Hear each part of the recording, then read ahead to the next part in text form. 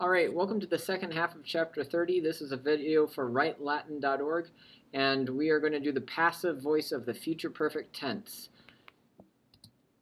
We're going to cover the formation, its origin and connections, including to the present backward-looking subjunctive, and also go over its paradigms and do some practice. Um, before we start, we need to review what the symbols mean. Of course, the thumb towards you means I, you, he, she, it we, y'all, they. And then the passives is I am blanked, you are blanked, he, she, it is blanked, we are blanked, y'all are blanked, and they are blanked. All right, formation. So far we've learned these two past system verbs in their actives and passives, but now we're going to add the passive of vocavero. For all of these, remember the active is the third principal part, and the fourth principal part gives us the passive. So we had sum and eram, now we're going to have ero, which is of course the future of sum. And so vocatus ero will be the passive form of this tense, just like vocatus sum and vocatus eram. There it is. Okay, so comparing it to the perfect. We had Vocavi have called, Vocavero will have called. And the helper verbs, verbs for that are sum and ero. And they're going to match up with the participle just like this. So Vocatus ero, I will have called. Wokatus eris, you will have called, and so on. The translation, of course, is have been called and will have been called. And remember, of course, that you can only use nominatives when this participle is paired with a form of sum, because only a nominative can be the doer of the action of being.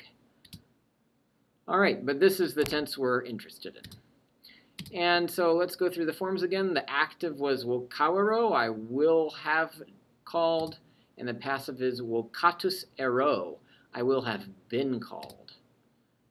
I will have called, you will have called, he will have called, we will have called, y'all will have called, and they will have called. Feminine and neuter. And the translation, of course, is will have been called. And that's about as concise as it can get.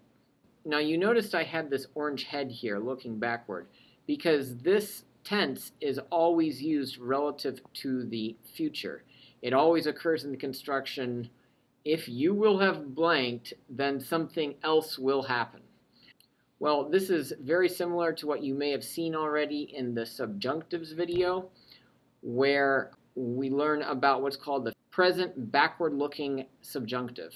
And it is symbolized, that is symbolized by this orange head here. Now, maybe you haven't read that yet. It, it you'll get it in chapter 32, and this is only chapter 30. But um, in case you haven't, then you're going to not want to confuse this very limited tense with what's called the present backward-looking subjunctive, which is very similar, vocaverim. In fact, it is so similar that there's only one out of six forms where it's different in the first person singular. Our form this chapter is ero. I will have heard, but the present backward-looking subjunctive will have a rim. Will have, shall have, can have, and may have. All four of the subjunctive possibilities. So obviously this that we have in this chapter is much more limited than the general subjunctive stuff over there. So don't get too worried about this because whatever you learn here, you're going to rehash it there and it's going to have more applications then. So, you know, whatever.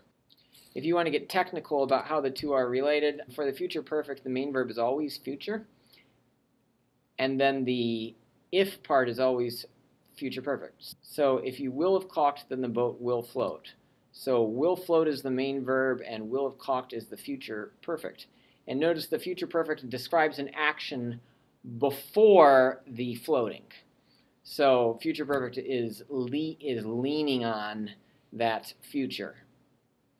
But if now, if this rigid, if future perfect, then future construction is broken in any way, like for instance, the main verb becomes present, then suddenly what will happen in chapter 32 is that this future perfect will suddenly be called the present backward looking subjunctive, or some people call it the perfect subjunctive, although that's an awful term. And in that case, then it can be describing things going on at any time, may have, could be in the past. Because the main verb is present, then suddenly the may have has to be even further back into the past. So that's basically what I just said there. So I see that they may have caulked the boat sometime in the past by now. Alrighty, so that will what we'll learn in the future is going to appear like this. Shall of, will of, can of, may have, and all of these are hypotheticals. They don't necessarily occur in real life and reality. They're just an imaginary contingency theoretical thing. And when we use it then, there's something called relative time, which will let these subjunctives move all around, but you don't have to worry about that too much yet. So that's that. Okay, so the origin and connections. Where does this future perfect come from? Of course, we already learned that our second participle, tractatus, perfect passive participle, um, is translated as blanked or having been blanked, and it can be any case number or gender, like tractatorum. But when we pair it with a form of the verb to be, in this case, the future of to be, ero or erit, then suddenly the tractatus must be in the nominative because it's part of a two-word verb construction. And the translation becomes will be having been blanked, which condenses down to just will have been blanked. And that's the opposite of the active traxerit. She will have dragged. So let's try the next one. Tractata can be any case number gender, having been blanked. Tractata erit, she will have been blanked, is the opposite of traxerit. And the next one, tractatum, any case number and gender, dragged or having been dragged becomes will have been dragged when combined with erit. And over here we have two people pulling now, so it's going to be traxerint. All right, so this is one of the few times that you're ever going to see int in Latin. In the plurals then, we have tractati, tractati, tractata having been blanked. So are we going to put est with this? No, it's future perfect. So what are we going to put with it? Are we going to put erit with it? No, it's plural. So what are we going to put with it? Erunt. They will be. They will be having been dragged, or more colloquially, they will have been dragged. All right, so tractati dragged, tractati erunt, they will have been dragged, opposite of traxerint, they will have dragged. Will of, will of, will of. Tractate dragged, tractate erunt, will have been dragged, opposite of traxerint, will have dragged. And tractata erunt, they will have been dragged, opposite of traxerint, they will have dragged. All right, so paradigms. So now we know all the perfect system. Isn't this wonderful when something finally completes?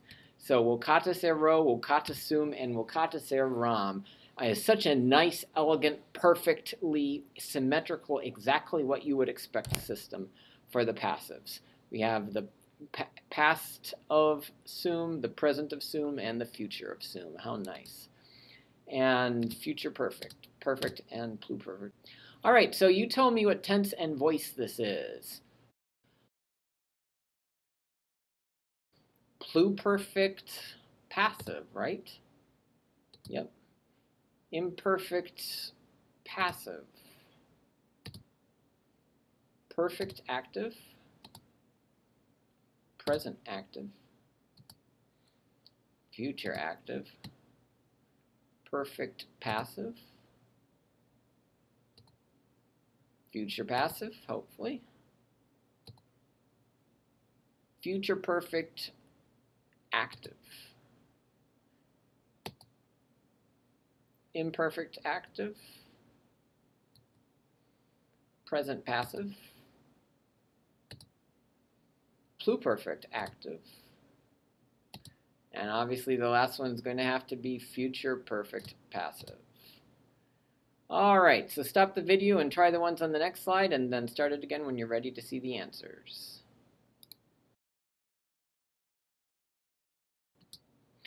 Alright, so now we're going to try to have you do it. Okay, so these are going to be your answers for the next slide. And um, we have active calling on top and passive being called on the bottom. Alrighty, so start the thing, stop it somewhere, and we have the they form of the imperfect active. So, vocabant. Hopefully that's right. Yes. Try it again, and now we have the we form of future perfect active. So, vocaverimus. Yes, very good. And then one more time. Now the U form of the perfect passive would be vocatus s. Very good. Okay. So stop the video and give this a try, and when you think you can do these rather reliably, then go on and try a third conjugation, one on the next slide.